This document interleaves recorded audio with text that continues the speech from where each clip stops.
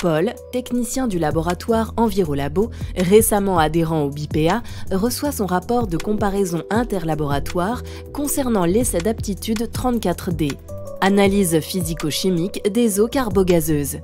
Il analyse son rapport de comparaison interlaboratoire et, assez surpris, il constate que certains paramètres ne sont pas évalués.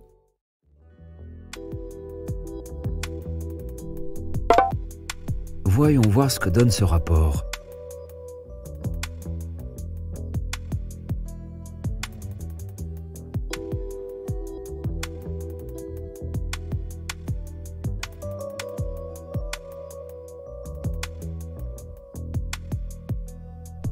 Quoi Mais pourquoi certains paramètres ne sont-ils pas évalués? J'ai pourtant bien transmis mes résultats.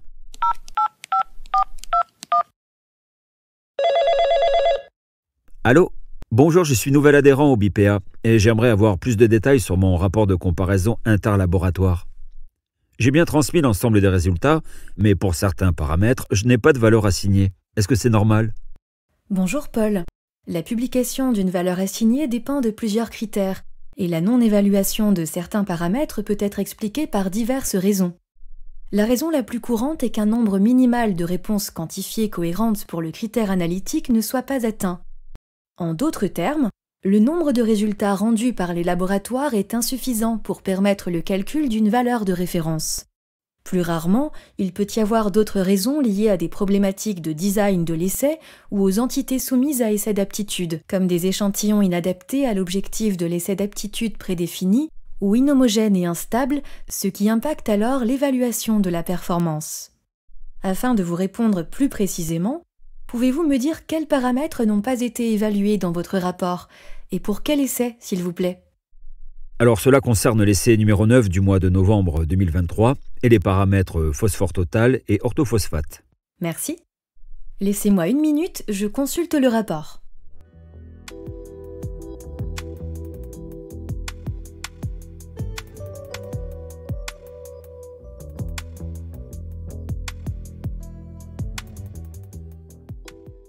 Bien. Après vérification, c'est bien parce que le nombre minimal de réponses quantifiées cohérentes pour les deux critères analytiques n'est pas atteint. Lorsque l'effectif des participants à un essai interlaboratoire est faible, cela peut entraîner plusieurs conséquences sur la valeur assignée. Quand elle est estimée à partir des résultats des participants, un manque de représentativité des résultats obtenus, une proportion importante de résultats aberrants, une variabilité accrue pouvant rendre difficile l'estimation d'une valeur assignée fiable pour le paramètre en question. Les exigences de la norme statistique régissant les traitements de données attirent l'attention sur les risques liés aux petits effectifs et préconisent l'utilisation de statistiques robustes comme celles mises en œuvre par le BPA avec l'algorithme robuste A. Pour atteindre cette limite, un minimum de 12 résultats cohérents est nécessaire. En dessous de ce nombre, nous devons être prudents. Et donc, s'il y a moins de 12 résultats, ça veut dire que mes résultats ne sont pas exploitables? Non, pas exactement. Entre 8 et 12 résultats, la valeur assignée est fournie. Cependant, entre 7 et 4 résultats, la valeur assignée est donnée uniquement à titre indicatif, et en deçà de 4 résultats, la valeur assignée n'est pas estimée.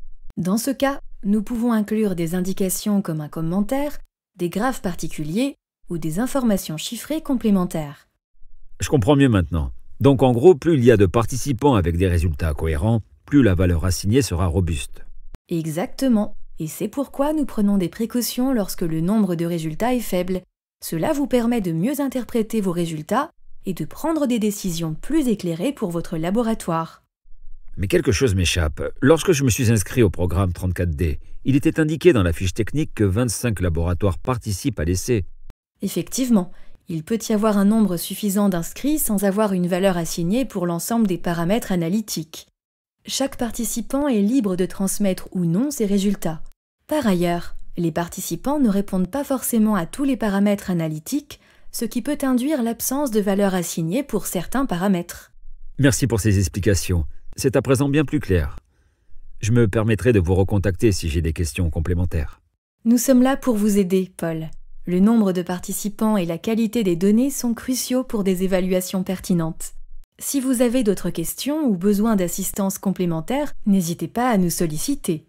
Grâce à cette conversation, Paul comprend mieux l'importance du nombre de participants dans une comparaison interlaboratoire. Il sait maintenant que lorsque certains paramètres ne sont pas évalués, c'est pour garantir des résultats aussi fiables et représentatifs que possible.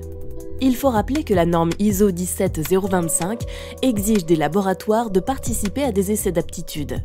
Toutefois, aucune indication sur la fiabilité des évaluations de la performance par rapport à l'effectif des laboratoires participants n'est mentionnée. La seule exigence est que l'organisateur donne des indications aux laboratoires pour exploiter leurs résultats.